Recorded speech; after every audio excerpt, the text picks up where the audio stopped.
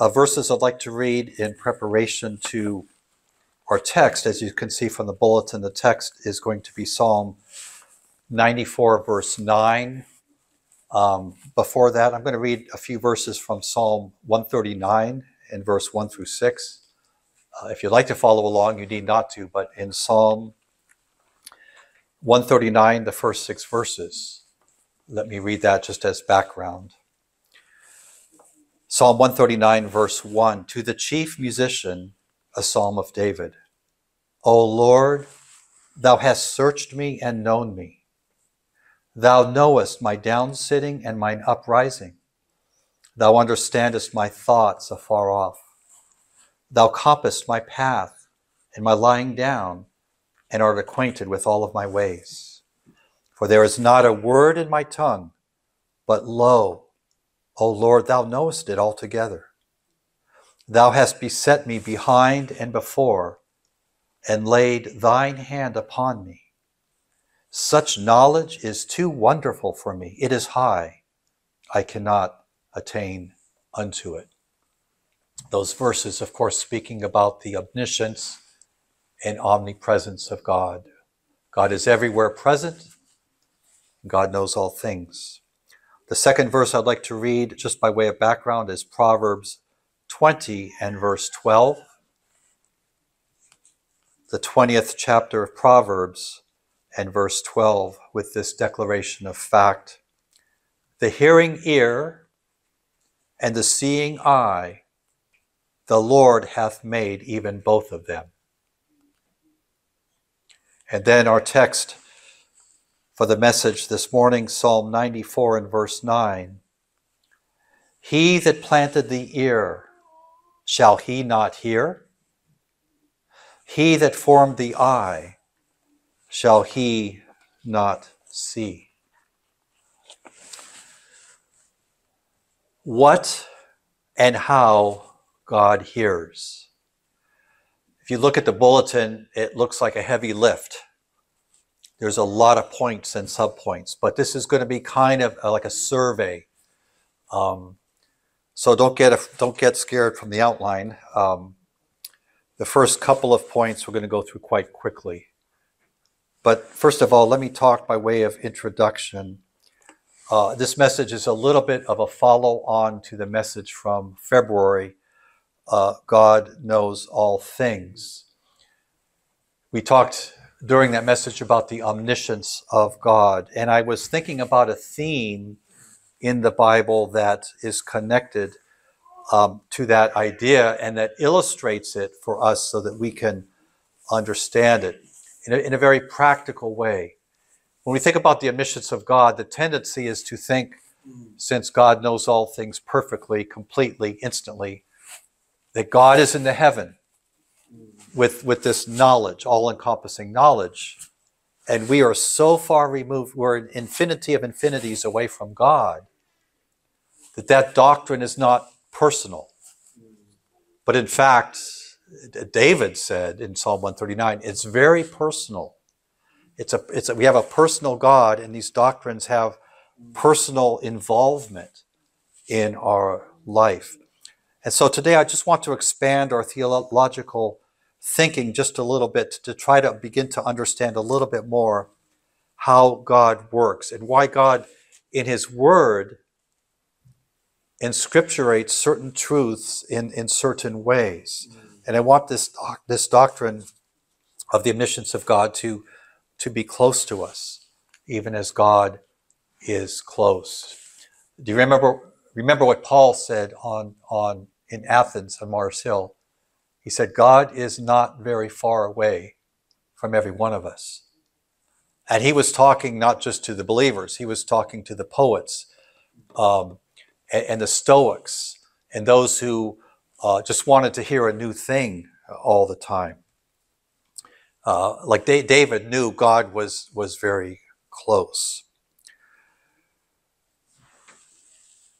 So that's what we'd like to go through today. And the main takeaway is learn a little bit more about the omniscience of God, understand it is close, and to expand our thinking a little bit to see this theme of one way that God develops this. So, secondly, two definitions quickly anthropomorphism and the omniscience of God. Anthropomorphism. So, the scripture says that God hears things, but we also know God is a spirit. And so, God does not have ears. It also says he sees things. We would say he doesn't have eyes the way we do. And the scripture uses human analogies, this anthropomorphism, so that we can try to understand God in human terms. God, God is condescending to us to give us these imageries and these pictures. God is a spirit, but the scripture sometimes speaks of him in human terms so we can understand. Anthro, man, morph, form. God has the form of a man in Scripture just to illustrate certain things about God. And so you'll read God hears things, or God sees things, or God's hand moved to do something. Again, imagery to help us to understand. Psalm 94 and verse 9 He that planted the ear, shall he not hear? The, the ear is a very remarkable piece of creation. I've heard or read that the little tiny bones in your ear that help you hear, when you were born as an infant, those little bones were fully matured. Today they are the same size as when you came out of the birth canal. And, and the whole idea of God's spoken word and for us to receive God's word both audibly or visually and in our heart is a miracle in and of itself that we could spend an eternity to understand. And obviously, if God formed the ear, he can hear. So again, anthropomorphism. We're going to talk about God hearing things and that's the context of how we say that. Second definition, quick, quickly, the omniscience of God. We spoke about this last month. It simply means God knows all things. In Psalm 139, David said, You understand my thoughts afar off. God understands my thoughts that I'm not going to have for another year or two. He's acquainted with all of my ways. There's not a word in my tongue, but lo, that's a word like behold, take notice. Remember when Jesus would say, Verily, verily? Well, he's the Son of Man. He doesn't have to say, Now I'm saying this truthfully, but he would sometimes say, Truly, truly, to emphasize. And David is emphasizing this Behold, Lord, you know it altogether. The eyes of the Lord are in every place beholding the good and the evil. The light and the darkness are both alike unto him.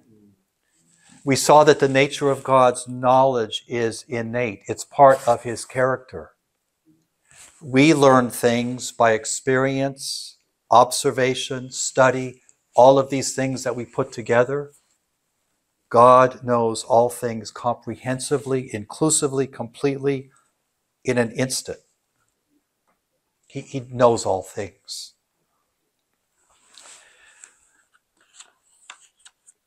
So, what I want to do at this point now is to move into this just very brief survey of looking at some passages where it says God hears something. And I want us to think of this in terms of the omniscience of God, of what he hears. And I'd like to begin, so we're on point three, if you're following the outline already, we're already at point three. I want to introduce this, this concept with you um, that you know, God hears and he how, how it is that he hears. And I want, want to introduce it by, by giving you a personal illustration. And I think you'll see what I'm getting at. So when I was in the military, my my MOS, my military occupational specialty, my job was I was a non-communications intercept analyst. And what that would mean would be I would intercept non communications. What is that? I would intercept that and then I would try to analyze it and, and understand it. We normally think of communication as talking, and we use words and phrases. We can also communicate with pictures and, and the written word. But when someone talks to you and they, they, they have inflection and words, that's communication. My job was to listen to non communications and figure out what that means. So, for example, I would gather and listen to telemetry, satellite signals, radar signals. And there was a lot of information you could get out of that. The first day I went to this, this military school to learn this, they had us put on headphones and listen to this library of sounds. And I put these headphones on, and what I heard was static, chimes, intermittent beeps and squeaks, something that sounded like bagpipes, uh, something that sounded like the old fashioned dial up internet sounds. All, all of this RF, radio frequency, electronic signals that you can't hear with the human ear. But if you have equipment that is listening in that spectrum, it can hear that. And when you hear that noise, it might sound like static, it might, sound like beeping, it might sound like a, a weird electronic noise, but it has intelligence in it. I could listen to a certain sound and I could tell you that's a radar system associated with a certain weapon system. And I could tell you if that sound meant they were going to send a missile, or they were just turning on the equipment to run a diagnostic to see if it was working, or a host of other things. All of these signals, you look out the window and you can't see this, but there's all these signals flying all over the place. And they all have meaning. They're all descriptive if you know how to listen for them and if you know how to hear them and, and what they mean. Relative to the omniscience of God, God hears things that you might think are inanimate, inaudible, single instances, thoughts. The scripture says, and I don't have time to show you all the places where it says, God hears that thing.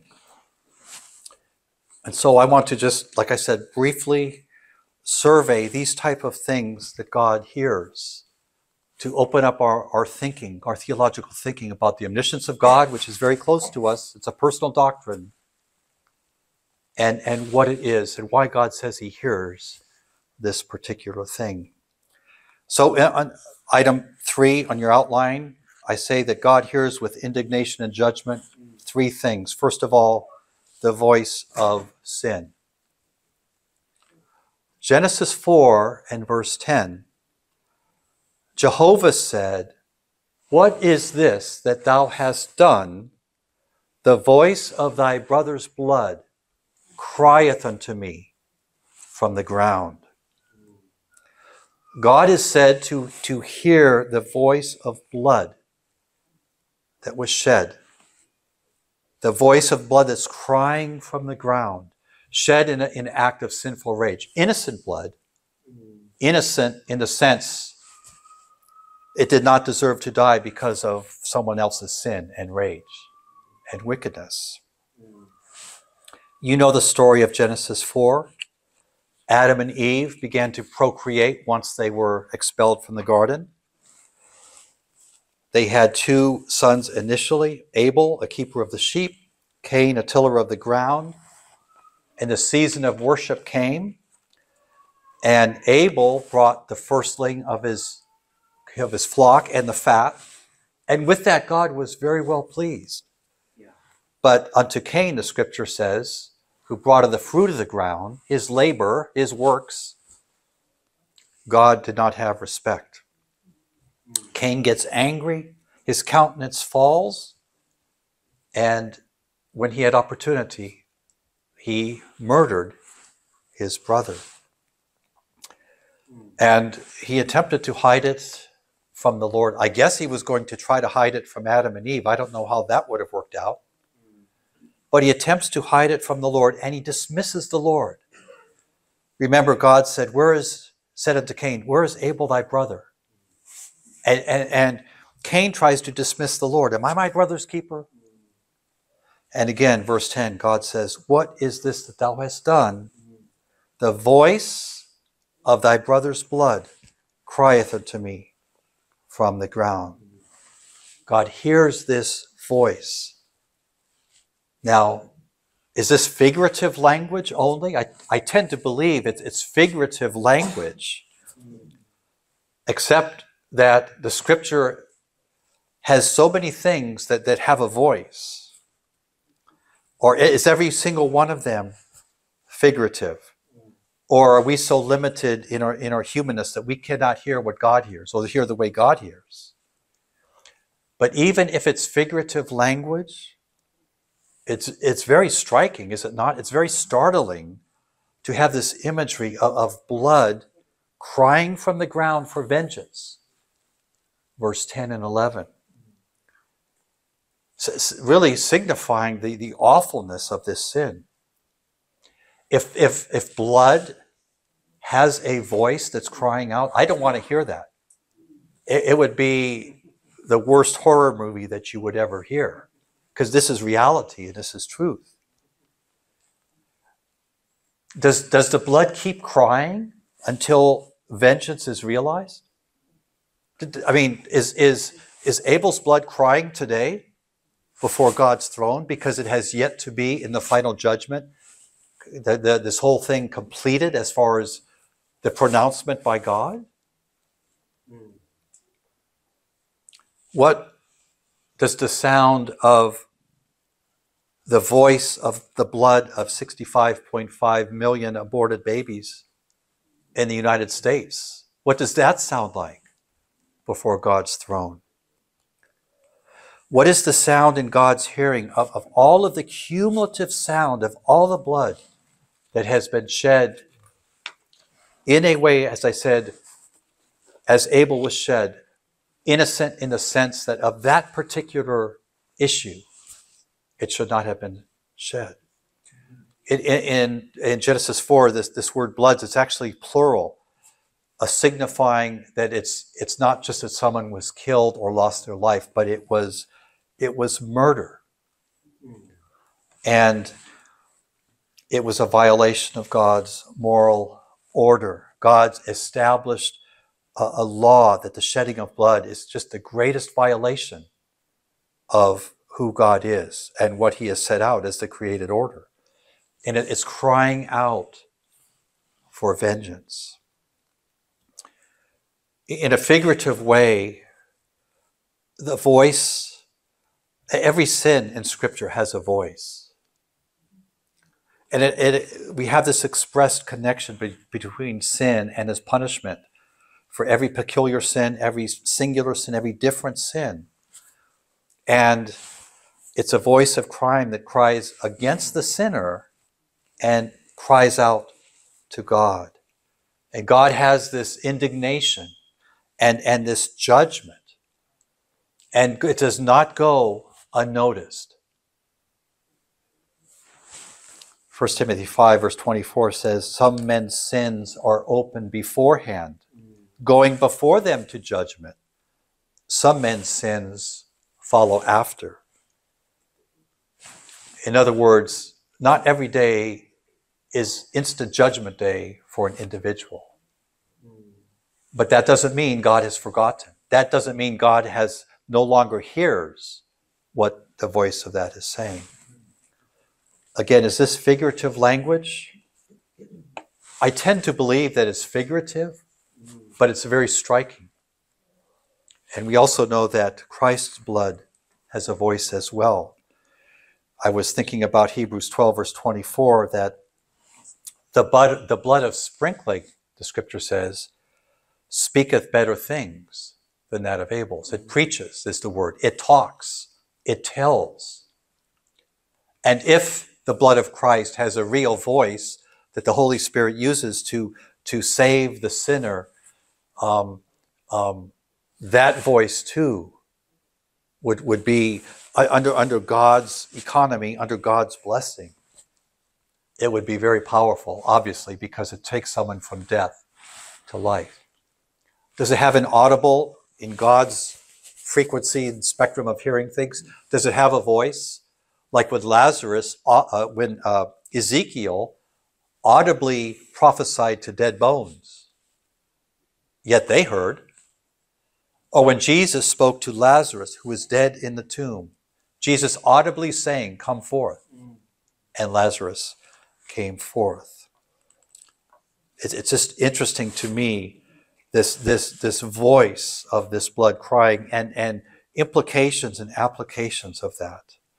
God hears the voice of the blood of Abel, of shed blood. Secondly, God hears the voice of wickedness. Mm. I'm not sure we can differentiate between certain sins and certain situations, but the Bible does attach God's hearing to some of these situations and some of these issues. And here I'm thinking about the cry of Sodom and Gomorrah that went up before the throne of grace. In Genesis 18 and verse 20, the Lord said, Because the cry of Sodom and Gomorrah is great, and because their sin is grievous, I will go down now and see whether or not they have done altogether according to the cry of it which has come up to me. And if not, I will know it. So here the imagery is God hears this cry of wickedness, and it's almost as though God says, wait a minute, this, this is unbelievable. It can't be this bad. I, I have to go down to verify it. Certainly they have not sinned against nature. Certainly they have not sinned against the created. It can't be that widespread. What is this? That their sin is so bad, it cries to God with this self condemnation in it almost that it has to be judged immediately. Our Lord, when He cast out the demon, uh, multiple demons from that individual who was throwing himself into the fire, you remember what those demons said? They said, Send us into the swine. And then the swine, he did. And then the swine ran violently down a steep cliff into the ocean and drowned. It's almost like that. The sin is so bad, it's telling God, you know, put us out of our misery, you know, kill the sin. God says the cry has come up before God. This word means to cry out because of pain, because of sorrow. There's a physical response to this sin. In Genesis 19, where those three angels, God, I think, appearing, um, they tell Ad, uh, Abraham, the cry has waxen great before the Lord. It's an outcry of distress. It's waxen great. It's become magnified. It's become large. And God is hearing this constantly. And God says, I must do something. In the same way that the voice of shed blood must be a terrible voice to hear if it was real, so too the voice of wickedness before God's God is thrice holy. God is separate from sinners. And yet he's omniscient and he hears the voice of, of wickedness. He heard, the, he heard the voice of Sodom and Gomorrah. So, as you know, his indignation and his judgment is manifest as he destroyed Sodom and Gomorrah. Fire and brimstone rained down from heaven, and he overthrew all the cities of the plain, all the inhabitants of the city, and everything that grew upon the ground. God said, I want to stop hearing that. And the only way he could stop hearing that was to destroy it. That's our God. Thirdly, God hears the voice of idolatry. The scripture says idolatry makes a sound before God, and God hears the voice of idolatry. And God is a jealous God. This too must be an awful, terrible voice, whatever sound it makes. Worship of false gods and false worship of the true God, both are false. In Psalm 78, God recounts the tremendous separation that he worked between Egypt and his own people. And God said he guided his people in the wilderness. He said he led them on safely. He said the Red Sea destroyed, overwhelmed their enemies. He brought them to the border of his sanctuary, his land. He cast out the heathen before them so they could come in and take possession of everything. And yet, the scripture says in verse 56 of Psalm 78 they tempted and they provoked the Most High God and did not keep his word. They turned back, they dealt unfaithfully like their fathers. They turned aside like a deceitful bow. They provoked him to anger with their high places, and they moved him to jealousy with their graven images. And when God heard this, when God heard their idolatry, he was wrath. He was wroth and he greatly abhorred Israel. God either heard directly this idolatrous sounds of false worship, or maybe he heard a report from one of his angels. I don't know, but this sound provoked him to jealousy the sound of so unspiritual. Uh, probably the same type of sound when, when Israel worshiped the golden calf. Music, dancing, playing, uh, saying, These are your gods, O Israel, that brought you out of Egypt. This thing that they made of their own hands. This, this jarring noise.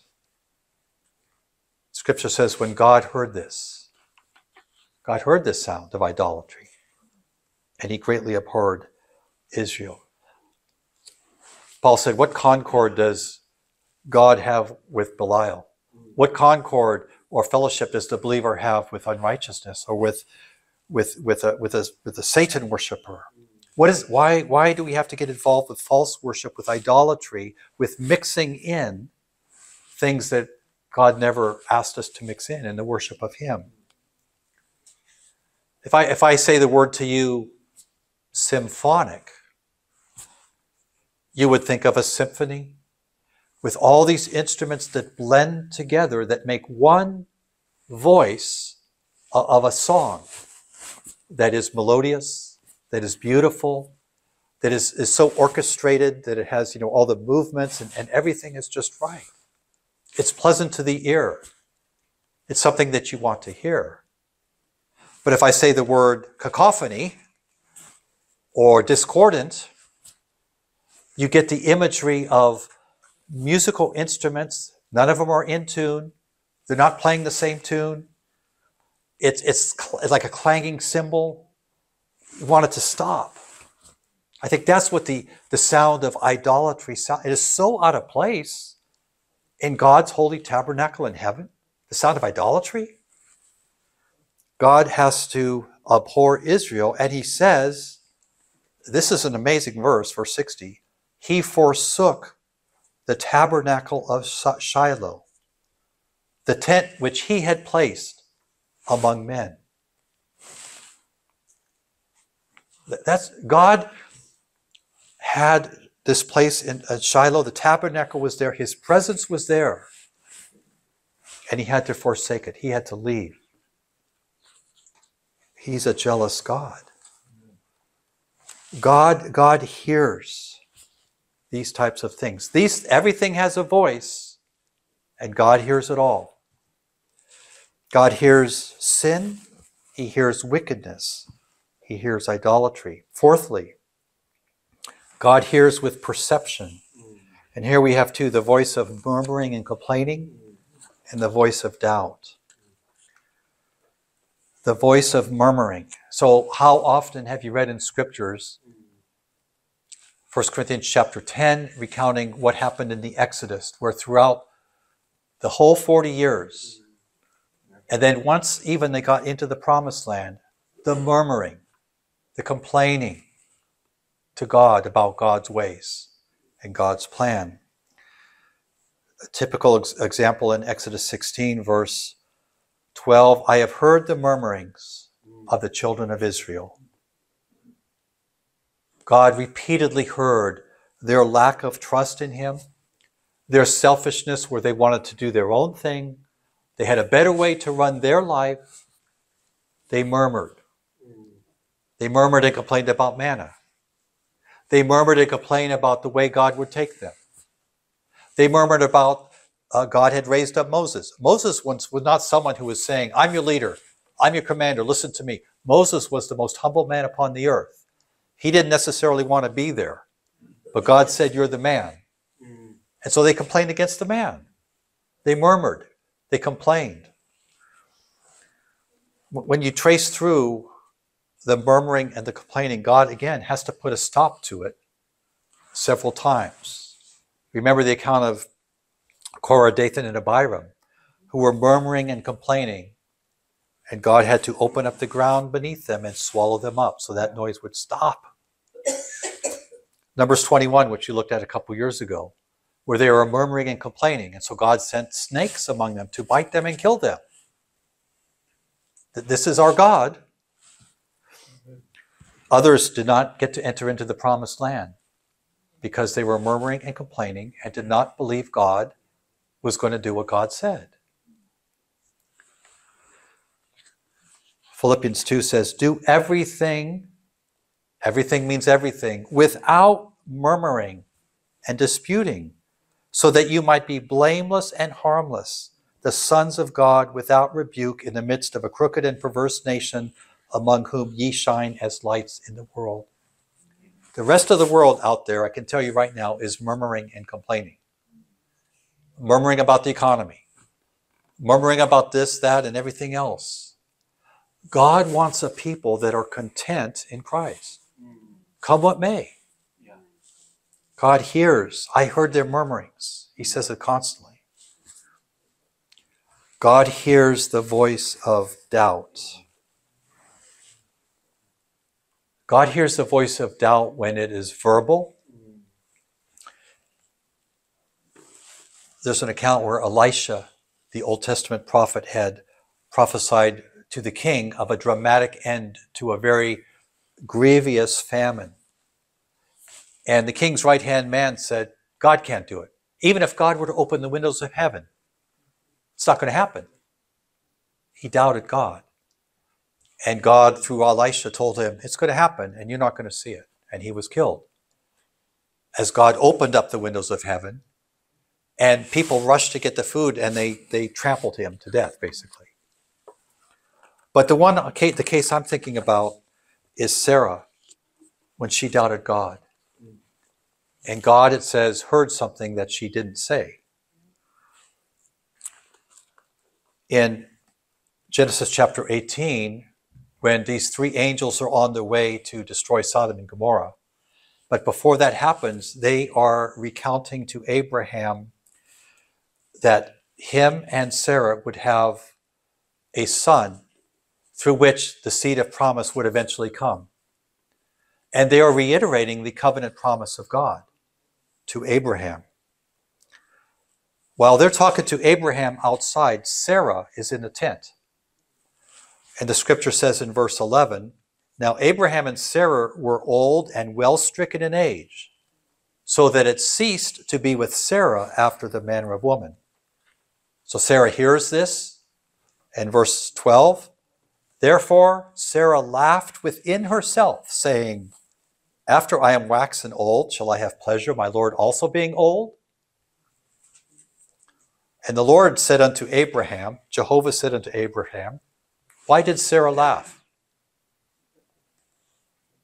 He heard her laugh. Why did she say, Of a surety, will I bear a child which am old? And then, of course, Sarah denied it, saying, I did not laugh because she was afraid. And what did God say? Nay, but thou didst laugh. She laughed within herself, perhaps because there was just this, this long delay between the initial time the promise was given and the fulfillment of it. Maybe she it was this weakened her faith. She thought that this announcement, this reiteration was just, just too incredible to believe. And then when she was confronted, she aggravated her, her distrust by, by trying to cover it up. We know that covering a sin never works. She was focusing on natural resources, her natural ability, and not the Word of God. Abraham, we know, was fully persuaded and, and was able that to know that what he had promised, he was able also to perform. But Sarah was weak in faith. In her unbelief, there's a lot of things going on with her. Her unbelief was offensive to God. Um, he has to tell her, Is anything too hard for the Lord? Nothing is secret that can escape his awareness. Why did, why did you laugh? Sarah is found out. She is still going to be the, the vehicle, the, the, the, the lady to whom this seed will come, but she's put up this roadblock where God has to deal with it. No, you did laugh. Scripture says, He that covers his sin will not prosper. But on a larger scale, the scripture says, There was nothing covered that shall not be revealed. There was nothing hid that shall not be made known. Sarah's laugh is recorded in Scripture. She laughed within herself. God heard it and God recorded it. He hears everything. He's not very far from every one of us. He knows our thoughts afar off. She should have said, Lord, I believe, help thou my unbelief. Then it would have been well. It would have been okay. It would have been good. But it's another thing to laugh at the promises of God and then try to cover it up. Fifthly, God hears with compassion. He hears the voice of dejection, he hears the voice of sadness. The voice of dejection, let me just mention that God says several times in the book of Acts, the, the book of Acts, the book of Exodus, when he heard the voice of his people groaning under the slave, their slavery to Egypt. Not only did they cry out to God with prayers, which they did, but the scripture says that just under the, the taskmasters, they would groan, they would have sorrow, they would express anguish one to another by reason of their taskmasters, verse 7 of Exodus 3. They would groan as they went about this work, not directing it to anybody, but God hears their groaning as they're trying to fulfill what, what the taskmasters of Egypt were, were having them to do. And God in Acts chapter 7, verse 34 said, I have heard their groaning. There's this dejection or this despair that also has this inaudible sound. God knows all things. God knows that sound. God knows that sound if it's sinful, if it's imperfect, if it's not according to knowledge, if it's a correct groaning and sorrow and anguish. God knows, God deciphers it, and God acts. God hears with sympathy. Here I'm thinking about John 11, the raising of, of Lazarus where the scripture says in verse 33, Jesus gets there. Jesus therefore saw her weeping, Mary, and the Jews also weeping with which came with her, and he groaned in spirit, and he was troubled.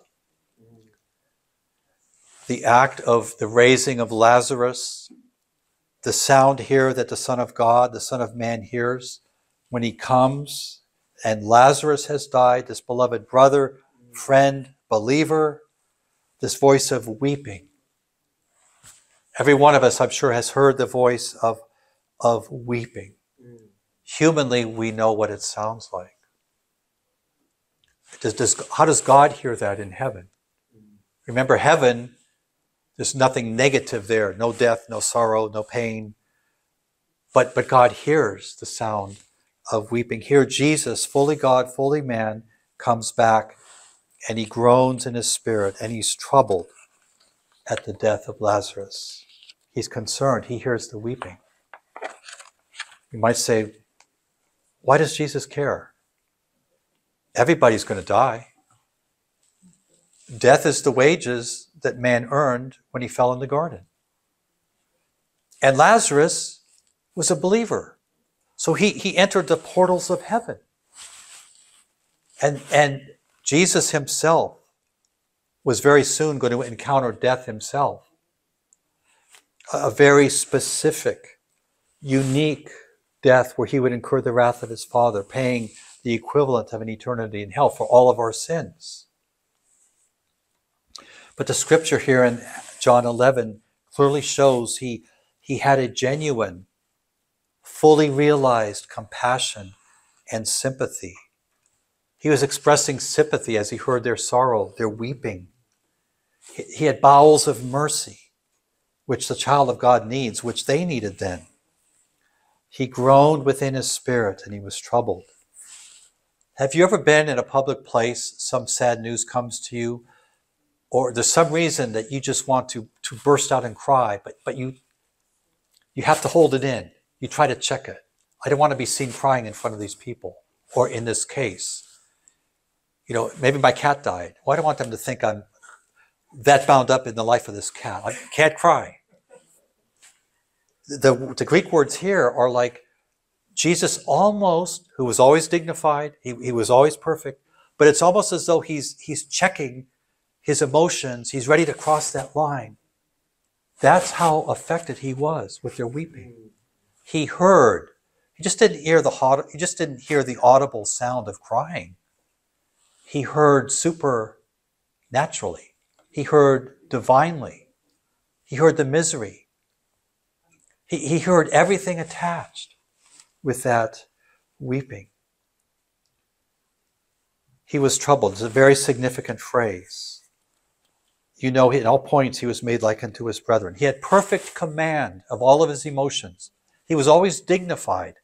If he expressed anger when he cast out the, the, the money changers from the temple, if he wept, he, he, a few verses later, he weeps with those who weep at Lazarus' tomb, does he not?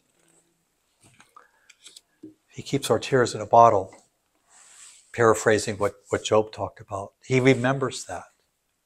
He hears those things.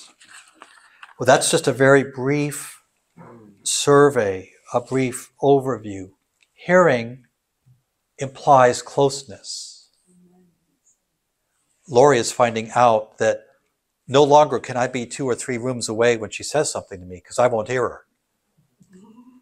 I won't even be able to say, What? It goes silent because I didn't hear her. I have to be a lot closer.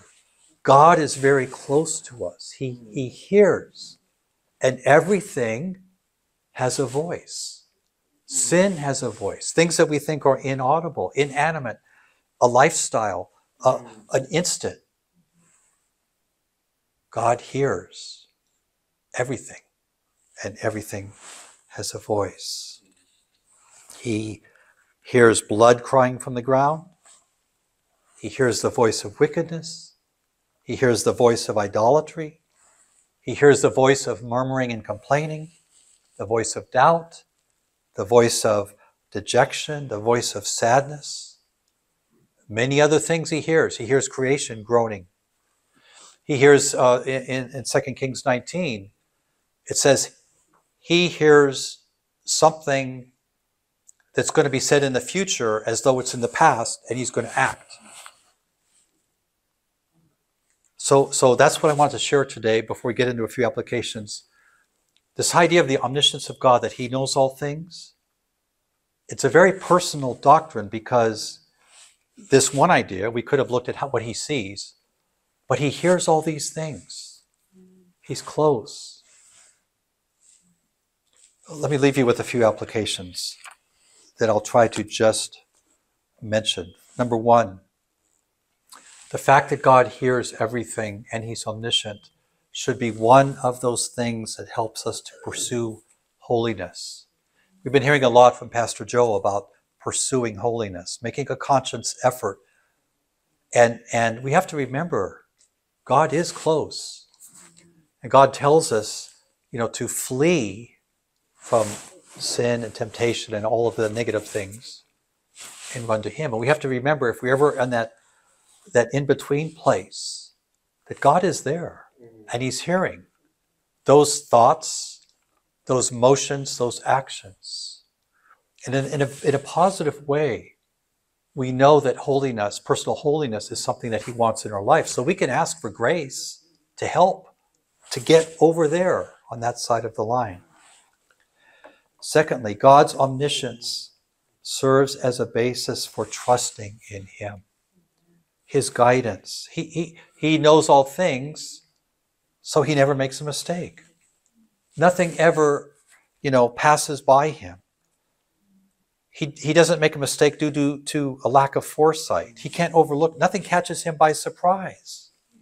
We should be able to trust and have faith in him. Thirdly, God's omniscience speaks to us about the reality of the love of God for us. There's not a single skeleton in your closet that God doesn't know about. He's already aware of that. He's aware of a future fall that you might have, and that will not affect His love for you. He knows you entirely and thoroughly. A quote from A.W. Pink The apprehension of God's infinite omniscience should fill the Christian with adoration because the whole of my life stood open to his view from the beginning of time. He foresaw my every fall, my every sin, my every backsliding, yet, nevertheless, he fixed his heart upon me. God's omniscient should open to us the, the love of God, which is a personal reality aspect of our relationship with Him. Number four, God's omniscient, omniscience should serve a, a comfort for us because a lot of times people don't understand us or they mistake something that we say. It's like hearing a sound. You know, you hear a, a car horn and someone said, why did that train blow its whistle?